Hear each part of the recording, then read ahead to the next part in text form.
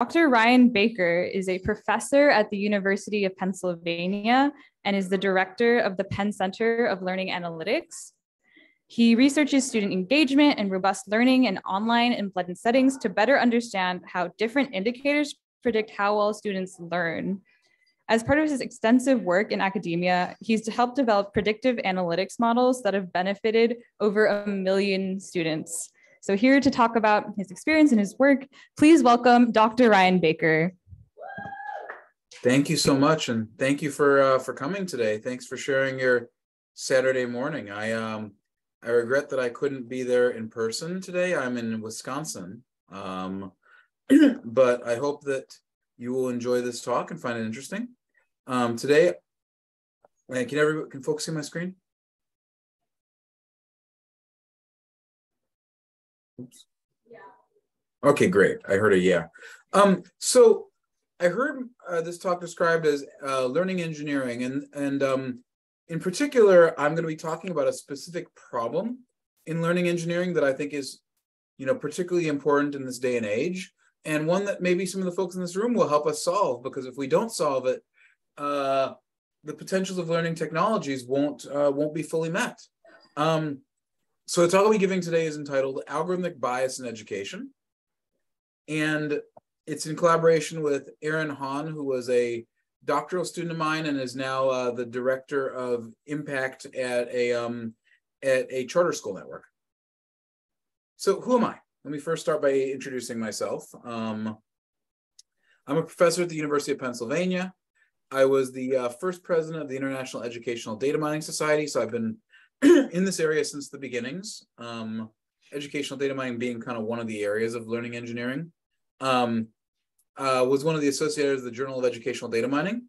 I've also, in more recent years, founded a journal called Computer-Based Learning in Context, which tries to study how computer-based learning varies uh, for learners in different kinds of contexts, whether it be you know schools uh, with under-resourced schools with fully with historically underrepresented students or schools in developing countries which a lot of the work in learning engineering has been very us and europe focused.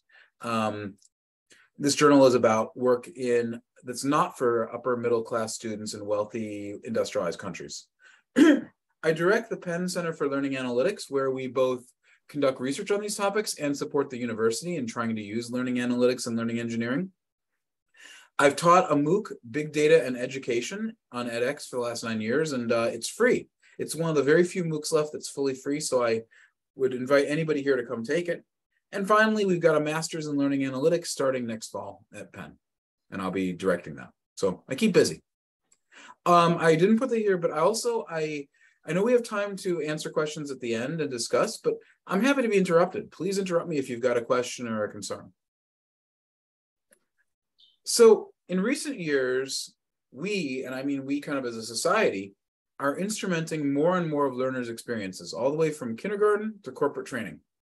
And we're instrumenting up learning management systems like Canvas at the undergraduate level or Google Classroom more in K 12, where we see kind of students' interaction with assignments and resources.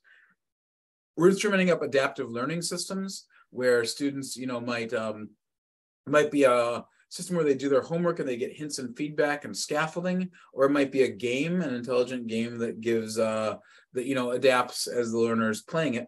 Uh, school information systems, um, the data on student outcomes and course taking, all these are getting more and more instrumented. And so we're collecting data as a field and we're using it, developing algorithms using what's sometimes called machine learning or educational data mining or learning analytics or sometimes even just artificial intelligence, it's called, that can make predictions and inferences about what's going on with the student. So, is the student bored? Are they frustrated? Are they uh, confused? Are they trying to get through with minimal effort? Are they um, really, you know, uh, trying to figure out what's going on? Um, and then we can, um, you know, do this to make predictions about whether a student's going to master what they're currently working on or whether they're going to pass the class. And we can use these inferences to benefit students and support instructors. You know, for example, telling an instructor, here are the three students in your class that are most at risk of failing your class, and here's why. There's a lot of applications of these methods, predicting dropout and success and failure. um, automated detection of things like whether a student's learning and whether they're engaged, what their emotion is, what strategies they're using to better individualize to them. As I mentioned, better reports for not just instructors, but also academic advisors, guidance counselors, and other stakeholders, and just to support basic scientific discovery and education. But one of the big problems that we've discovered as a field, and what I'll be talking about today, is that the algorithms that underpin these technologies are often biased against historically underrepresented learners, uh, functioning less accurately for them, and often making systematic errors not present for learners in historically overrepresented groups. Now, it's not like there are people in like Silicon Valley who are twirling their mustaches and you know evilly and saying, "I'm going to make algorithms that that reinforce biases," but because of errors in the way that we often build them, we're creating these biases. And this is far from unique to education, right? Um, you know, uh, Garcia wrote a really great paper on algorithmic bias, foundational paper about six years ago, about how, for example, a, um, a, hospital medical school in its admissions um, was taking the, the bias decisions already made during admissions and replicating them. The algorithm was figuring out how to be biased just like the humans. And so when we've got bias in our data, we get bias in our algorithms. Um, Garcia also reported about how often people uh, who were minorities who applied for credit cards got worse deals out of their credit cards. More recently, there was a, a case where it was shown that an online test prep company was offering test prep more expensively in districts uh, in um, zip codes with more Asian Americans. Um, so there, these biases kind of pop up in these systems all the time when we're not looking for them. Um, another example um, in uh, in in criminal sentencing was that um, uh, a county in Florida that used an algorithm to figure out whether somebody should be given bail and how much bail to give them systematically uh, systematically identified that black people were at higher risk of reoffending than white people and that was partly true because judges were giving more harsh sentences for the exact same offense to different people the algorithm was replicating again the bias of the judges so algorithmic bias, these are some examples. An algorithmic bias is when a biased computer system systematically and unfairly discriminates against individuals or groups of individuals in favor of others.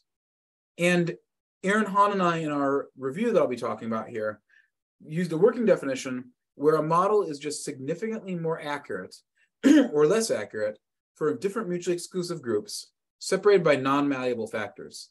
So the idea being that um, you you can't change your race.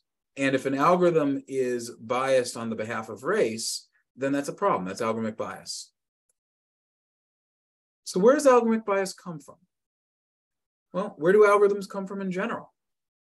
Um, folks talk about the machine learning life cycle of the development of algorithms which is where you have the actual world this is what we want to change we come up with some task this is the thing we want to predict that we're going to use to make change we conduct some kind of measurement or collect data about that task. We develop a model that is going to make a prediction about the task. And then we deploy the model, which changes the world. So let's say we're going to predict, we got a world where there's a lot of people dropping out of high school. We predict who's going to drop out of high school. We do that by collecting school data. We build a model that predicts who's going to drop out of high school. And then we take that model and we give it to school leaders and teachers and say, this kid is likely to drop out of high school because they're failing their classes. This other kid's likely to drop out of high school because they're getting into a lot of fights. That actually changes the world, and so we have to keep building the model. So that's the machine learning life cycle.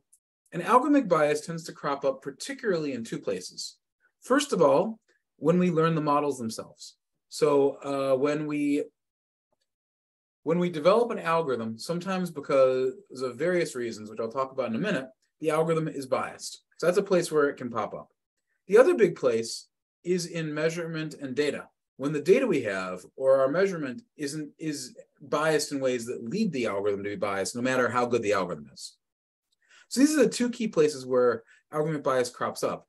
It's not that bias doesn't crop up in other places, like people can be biased in how they take action, but that's kind of the fault of humans more directly. So in bias from measurement and data collection, uh, one kind of bias is representational bias, which is when our data is more of some learners than others. So for example, y'all are in New York City right now. Let's say that a model is mostly developed using data from suburban middle class learners, you know, folks in Westchester County, folks on Long Island. And then the model is used in Jackson Heights, the most diverse uh, part of the entire country.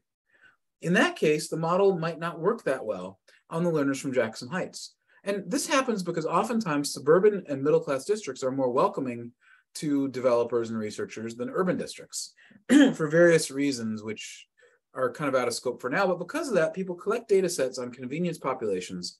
They use them more broadly, they don't work. And sometimes people will say, well, I used the complete data set. You know, I um I got every I'm at a university and I take the data on everybody in my university and um and use that in my model so it can't be biased because it's the full data set. But if a group is rarely seen in the data set, you can still get bias.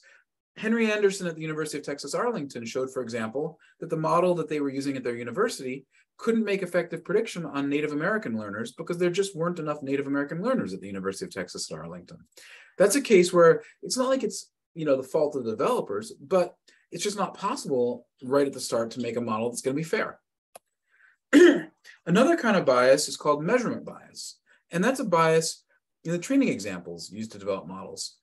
So we, we develop these models based on giving them cases of the different things we want to look at. Um, so take, for example, that example about prison sentencing earlier. If the judges are biased and we build models to do what the judges do, we'll be biased. Um, another example is that sometimes in developing models using learn for learning engineering of students' emotions, sometimes people will make the mistake of having people do the coding of emotions to say this kid is bored, this kid's frustrated, who aren't from the same cultural background as the learners they're coding. And um, I showed in co collaboration with some colleagues at Intel a few years ago, for example, that if you took st students from Turkey, the nation of Turkey, and you had coders from the United States, those coders tended to be systematically wrong and would systematically misinterpret um, the students. Now, even if you ask people to give judgments about themselves, you can still get bias because people can be biased about themselves um, people can make errors and systematic errors about their own um, their own thinking. So it's not even just a solution to do that. Bias creeps up all over the place. So if we know these kind of biases happen, and we're trying to engineer an algorithm for some learning task, we, ha we have a process we have to follow in making sure that algorithm is not biased. The first stage of that process is unknown bias. We don't know who the algorithm is unfair for we can move from there by by researching it to known bias, knowing our algorithms are broken, which is a lot better than unknown bias. Hopefully, from there we can move to fairness, you know, make fixing the problems, and finally to equity. Um, now, it's my contention that right now there's a lot of work on fairness and equity, but not much work on going from unknown bias to known bias. And that's actually a problem because you can't fix a problem until you know it's there. It's really hard. And so one of the big things that we need to do as a community of scholars and as researchers and developers is to fix this problem. And many of you may have the opportunity. I bring this up to y'all in large part because many of you, as you go out into solving these problems, make sure you know what the problem is before you solve it. So, what do we know about bias impacting learners in common demographic categories? Ken Holstein at Carnegie Mellon noted that industrial developers often don't know and Luc Paquette at Illinois noted that most research in this field doesn't even mention learner demographics, much less research it. Educational data mining, the majority of papers don't even say who their learners are. They just treat the learners like the learners, like all learners are magically the same, which is a really big problem in my opinion. So I'm going to give a brief summary on our on our the findings of our review of the literature. We Aaron and I sat down and like looked at every paper we could find on this and really like spent months and months on this. Um, and for full details about a year ago, you can see our paper on my webpage. But for the most up to date, there's only one article I know about that's not in there yet. Um, a grad student, Seon Lee, helped us to kind of is helping us to kind of keep it updated. And we're like, we've got this new wiki page where we're kind of trying to keep it up to date as much as possible so the community knows what we know about bias in edtech. So Several papers show that educational prediction algorithms perform worse for African American students and Latino students, Latinx students, than other learners, including algorithms that predict grades, predict whether a student will fail a course, predict whether they'll graduate, and whether they'll drop out. It's a really big problem. However, not every technology is equally affected by this. Automated essay scoring and self-regulated learning detection have been found to be largely unbiased. Uh, so this again, even in cases where there's big societal biases and everybody knows about them, we still have to find out if they apply in a certain situation. Now, some folks uh, like uh, Yu and Kizilcec have recommended prediction based explicitly on race, like saying, I think you're going to drop out because you're a member of this race. I am not a believer in that. I think that that can make the model like you the Yu and colleagues have shown that can make models less accurate, and it can replicate bias in decisions being made by instructors. So if we predict based on race, for example, we actually can replicate instructors' biases. I'll talk about the wolf example in just a minute. Also, there's almost never enough data to test for biases impacting Native American learners, which is a really big problem because there are a lot of Native American learners out there. Just in any given data set, they're often not well enough represented. One big exception, really the only one I know of, is work by the Infinite Campus platform where they got data from every kid in the state of South Dakota and were actually able to uh, validate that their models were effective for Native American learners. Admirable work. Nationality. There's evidence for bias in terms of nationality. Uh, for example, on a test of foreign language proficiency, one system inaccurately gave Arabic and Hindi speaking students lower scores than human raters did. in another study, um, Ogan and her colleagues looked at models of student help seeking, whether the help in a learning system worked, and what made the help effective for different learners. And they built, they got data in the Philippines, Costa Rica, and the United States. And each of those models were more accurate for learners in their own countries than for other countries. And another model on standardized examination scores found that if you train the model on data from the USA, um, it was more accurate for students that were economically more similar in America than students that were than countries that were less wealthy. Gender. Gender is a really interesting one because there's very complicated results on algorithmic bias for gender in education. sometimes models are biased against female students, and sometimes models are biased against male students. And I think that comes from the fact that um, that these days gender is increasingly complex the biases that gender has in society um, and the, our models are reflecting that. So we always have to check for it. Now, those are the three categories that have been most studied. What about bias impacting learners in other groups? There's just been insufficient research. There needs to be more. And I'm persuaded that we don't even know about all the groups that are being impacted. For example, um, there's been a couple papers showing that automated essay scoring, forum post uh, diagnosis, more accurate for native speakers than non-native speakers. To my knowledge, there's been absolutely no work on algorithmic bias in education in terms of learner dialect. Many people in this room probably speak non-standard, non-prestige dialects of your uh, of your of the language you speak natively, and to that extent, algorithms might be less effective for you, but no one's looked at it. There has been work to develop learning systems that are appropriate for speakers of non-traditional dialects. Uh, Finkelstein's work using African American vernacular English and learning systems that, that, communicate in that. But there's been no work to check for um, algorithmic bias, even though it's very likely. Disabilities there's been only a couple studies on um, whether EdTech is biased against learners with disabilities in terms of its algorithms. Both the studies found evidence for algorithmic bias, but there's just been only two studies in very limited contexts. Um, urbanicity.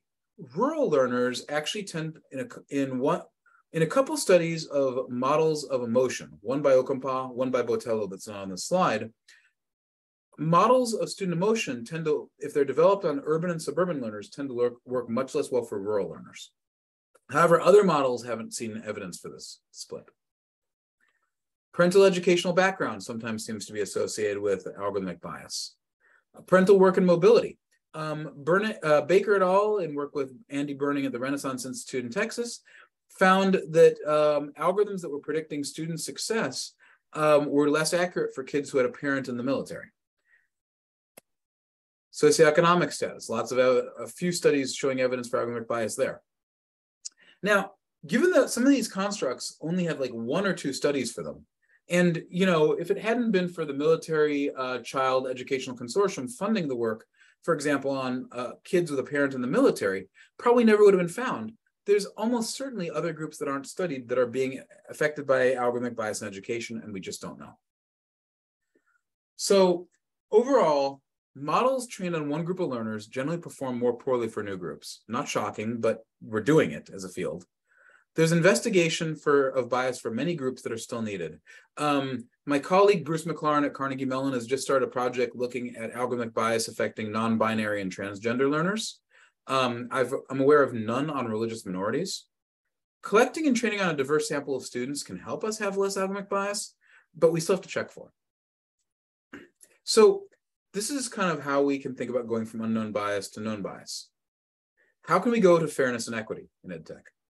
I think that there are two key categories of obstacles to overcoming bias in our field, in, a, in algorithmic bias. One is the lack of data on group membership.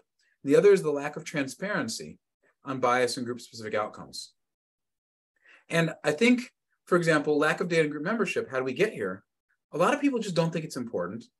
A lot of people have privacy concerns. And this is one of these really interesting challenges because a lot of people have said, let's have no data on student group membership, on demographics and identity, so we can protect kids' privacy. And protecting kids' privacy is important, but it's also important to make sure that our technologies work for all learners. There's a certain sense to which um, is it helping a student if we're being absolutely sure that we don't collect any data on their race and the algorithm works 15% less well for them? There's also a lot of issues of regulatory and legal restrictions, which vary by country and even by US state. Lack of transparency on bias and group specific outcomes. What I mean by this is that a lot of uh, folks in industry don't even report, well, they don't look for, and they don't report differences in effectiveness between groups. And that's in part because there's strong commercial incentives against transparency and group data collection. Imagine, if you will, being the only vendor for middle school mathematics to report that your technology has algorithmic biases. Many of them do, but only one vendor, let's say, reports on it. In that case, all the other vendors are going to say, look, these folks are bad. They have algorithmic bias. They're not going to even say if they have it themselves. Also, there's a lot of um, monolithic presentation of evidence. So a lot of the, um, there's a lot of repositories out there that say this ed tech works, this ed tech doesn't work. And they all treat it like it either works or it doesn't work.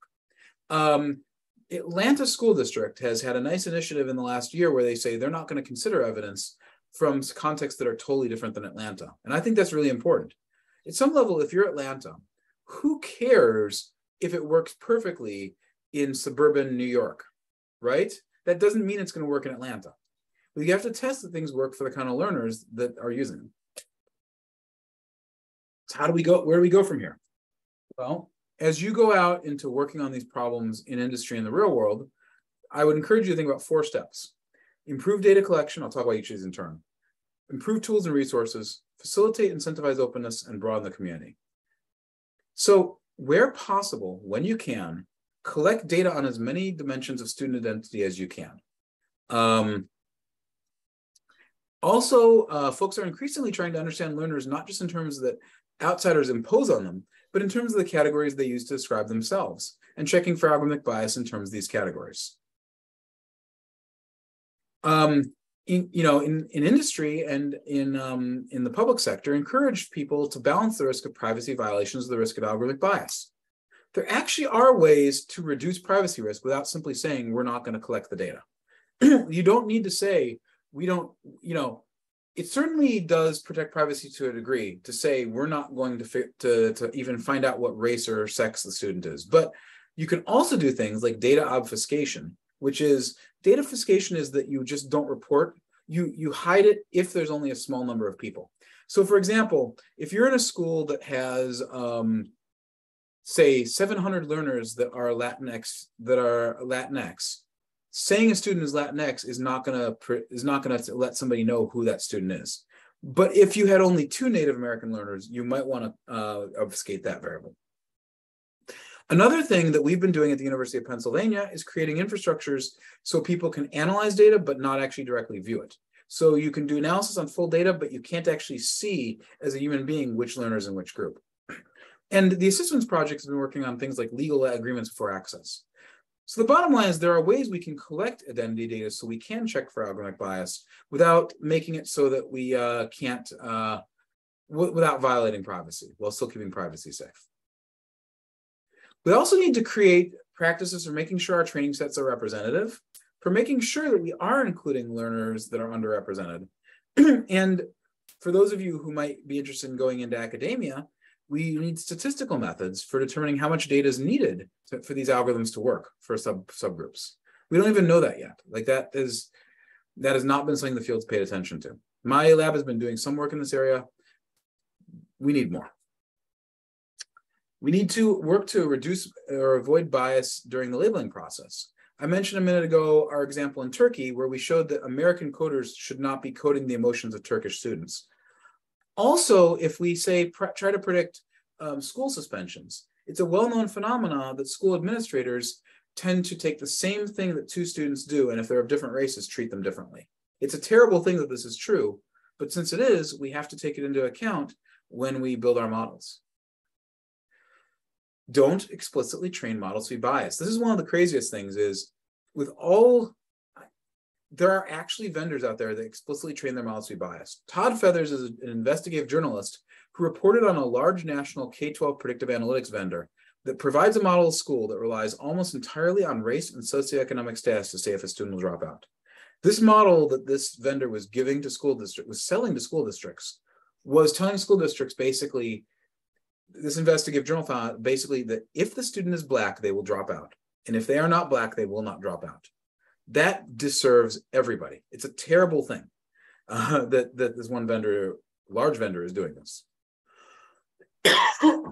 wolf used race as a predictor in a model predicting course grade at universities. She and her colleagues found that if you took all the grades on all the assignments and all the exams, you could do a pretty good job predicting the final course grade, which is kind of blatantly obvious. But if you put race in, you could do even better. And so, again, let's say that we've got two students who get equal grades on all the assignments, equal grades on all the exams, one of them is of race A and the other is of race B. And knowing what race they are predicts what grade they get for the course. Wolf and her colleagues conclude that race should be used to tell instructors which students are at risk of poor grades. I conclude something else that that university has a really big problem that predictive analytics is not going to solve. If you've got instructors who are taking two students who get equal grades on everything and saying that one gets a B and the other gets an A because of their race, you've got a really big racism problem. And incidentally, as of this year, this university has dropped this practice and they no longer use race to predict course grades. I don't know if they're trying to fix the problem though that their instructors are racist. That's that's a big problem that I haven't heard them trying to fix. That just makes me upset every time I talk about that example. Um, facilitate incentivize openness.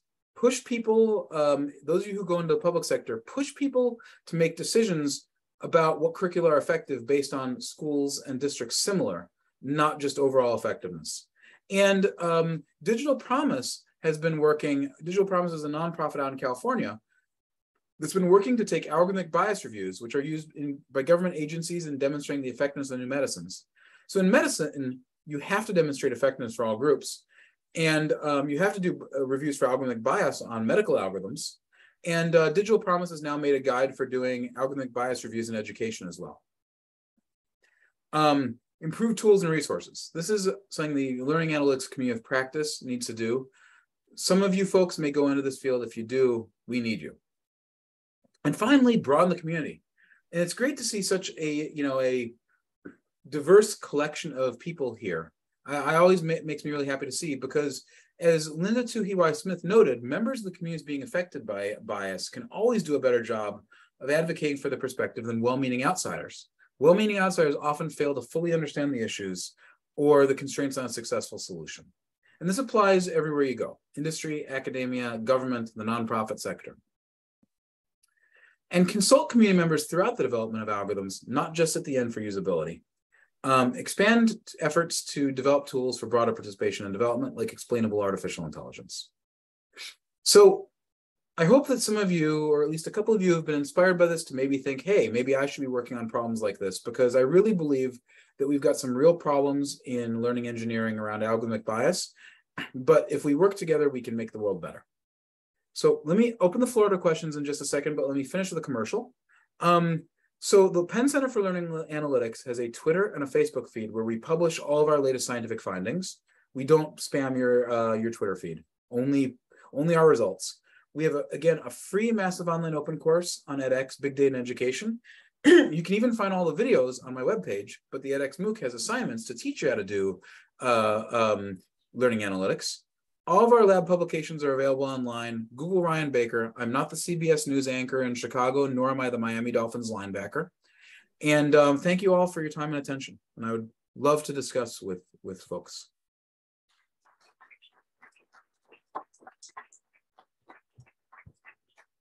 Thank you so, oh.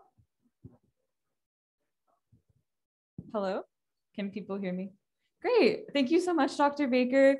Um, I now wanna turn it to all of y'all to ask any questions you may have had during the chat.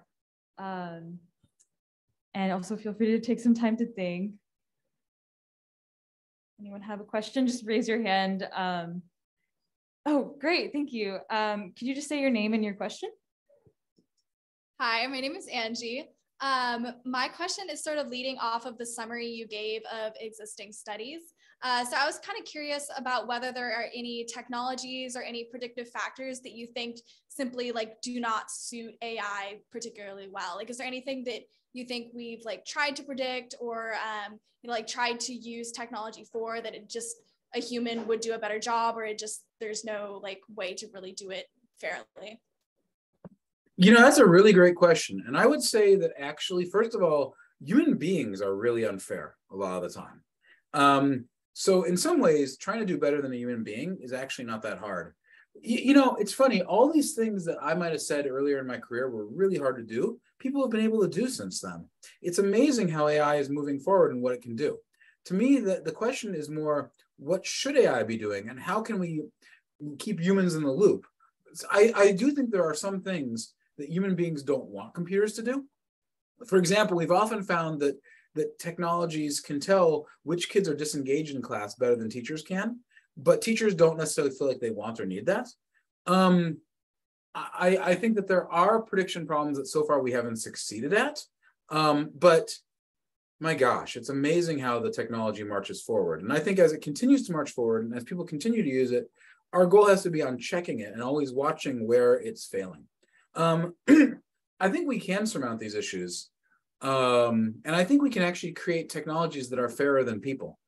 But uh, but doing that means we've got to be constantly vigilant.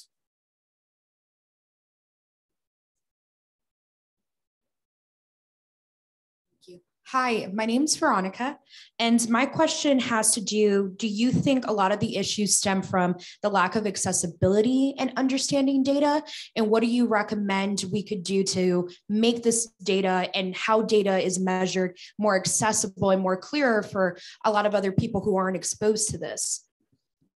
That's a wonderful question. And I mean, I think we have to be way more transparent to the people who are being affected by our algorithms about every part of our process we should tell them how we develop our models, uh, wh where we get the data from, um, how we process the data to create examples for the algorithm, um, what our algorithm was. There are things we can do at each of those steps. You know, explainable artificial intelligence is way better than it used to be for some of the fancy modern algorithms. Um, and a lot of times when people are not transparent, it's because they have something to hide. I mean, it's not always the case, but I'll give you an example a lot of the emotion recognition stuff out there doesn't work very well.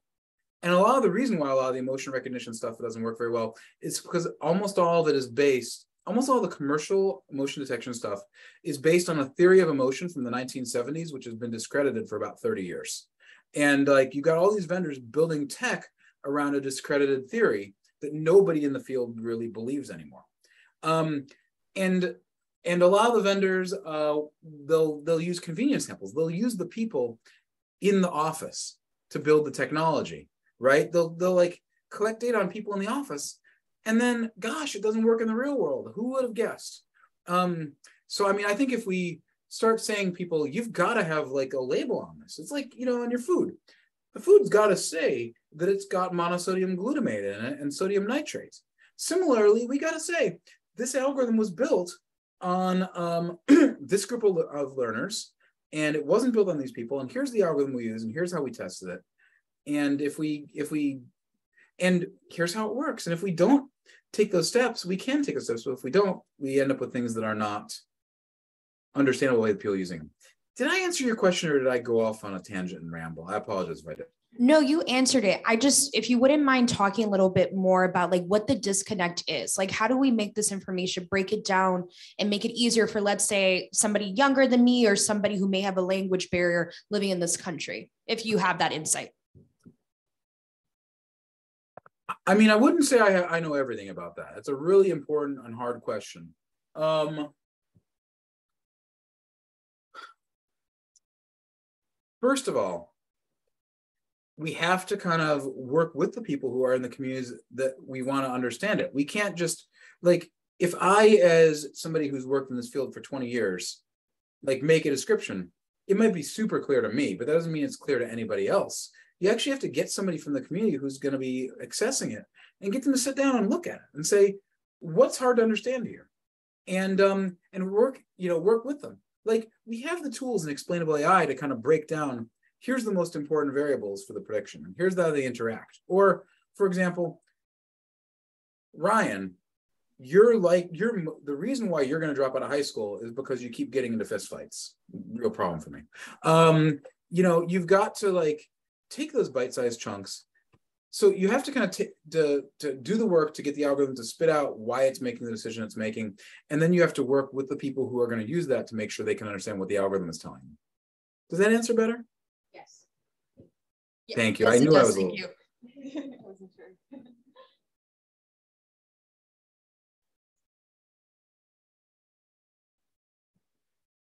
Um, hi, so I have like two questions. The first question is, um, so you're suggesting that we should eliminate identifying factors as race and um, gender when we're doing machine learning algorithms?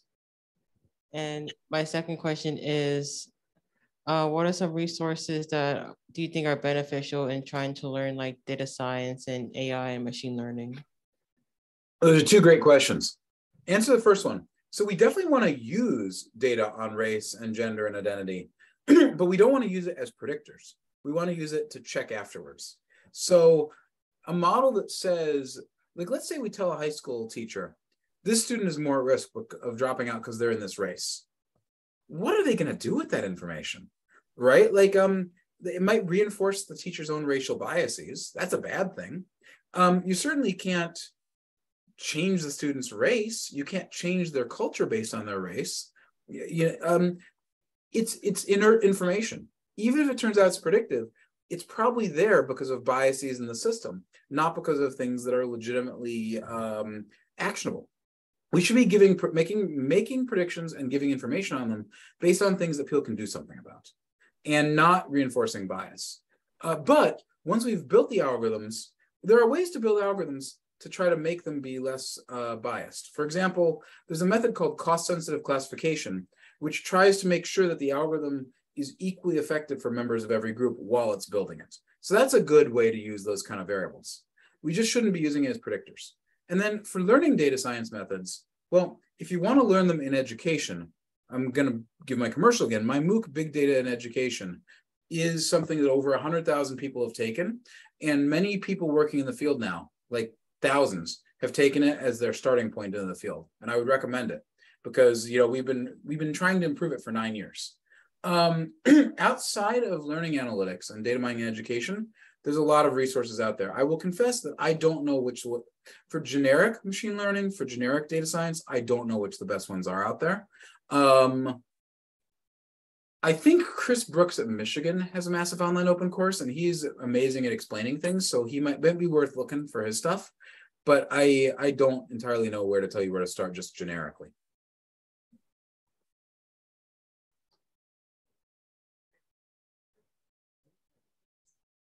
Uh, hi, Ryan. Thank you for this amazing presentation.